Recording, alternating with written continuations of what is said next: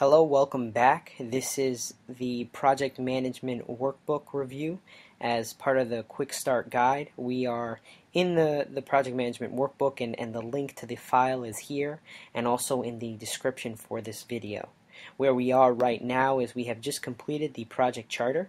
We filled it out and reviewed it with Maria and Roberto, our project sponsors, and they have provided key feedback and and we updated the document and and we have a clear understanding of, of what our objectives are and and where we need to go and how things will work. So the next uh, portion we're going to talk about uh, or section is the project plan.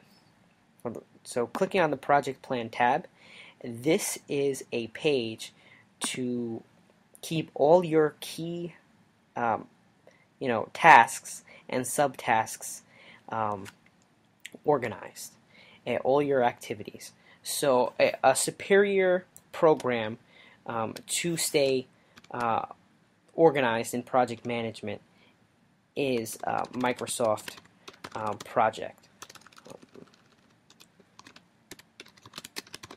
Microsoft Project. So it, it, this has more functionality at, and I would recommend using this if you have access to it um, and making sure that others that you're going to share your project plan with have access to it. If they do not, then I would recommend you know using using Excel. So I'll jump into an example of, of a main activity that has to take place. Uh, let's say hiring. And let's say a part of hiring you have to uh, develop job descriptions so that will include you know writing them, getting them approved, making sure everyone agrees, and then uh, and then after you do that, you have to uh, mark uh, marketing the the positions that are available. Uh, you have to interview uh, candidates. After you interview candidates, um, you would select candidates and then um, and you want the candidates to accept offers.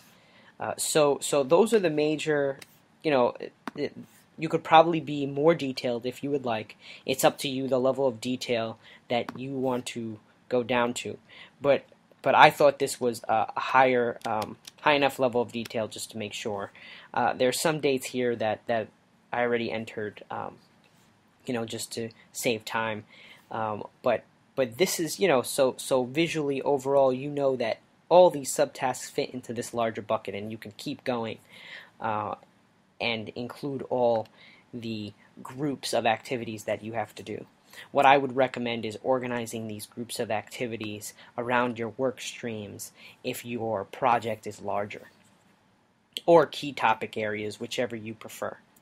The milestones are also key because these are the things that that are critical to accomplishing in the project. And when you look at this, it's not developing the job descriptions or or selecting candidates. It's them accepting offers. That's that's really the key that you're you're trying to do. And you're trying to do that by a certain date. So that milestones are very important. Uh, those are the key things that that are critical you know they call critical path items but but they are critical to the success of the project and hitting all your goals so in order to meet our deadline of opening this store we need to hire everybody by you know this date and this is just an example um, over here you could put the percentage complete so we could say right today we are 100% done with done with the job descriptions. We started marketing. Um, we've actually interviewed some candidates, but that's that's where we are right now. We haven't selected anybody. Uh, job descriptions. The the HR manager wrote the descriptions, and and that's the owner of that. And you can go down each one of these and and put a specific owner, and then any put any additional comments that you would like. In this template. Uh, to the right, this is filled out automatically, is a visual representation, a bar colored over time of that job description, and it's and it uh, if you change the date, So let's say this is changed to you know the eighth, and you'll see that change automatically. So you know this runs off this column here, but this is a visualization of your project activities, and then the diamond represents the the milestone. Uh, this is called a Gantt chart.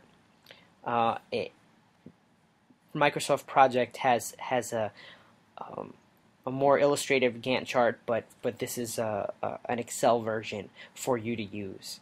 So if also um, so that's an overview of the project plan. If you want to extend this workbook by adding more tasks, you would just highlight the rows and and copy them down. Uh, and if you want to extend the timeline, you would highlight a column and, and copy to the right. So this is an overview of Microsoft, uh, of a project plan to keep all your activities and, and tasks uh, in order. Next we will cover the action item log. See you in the next video.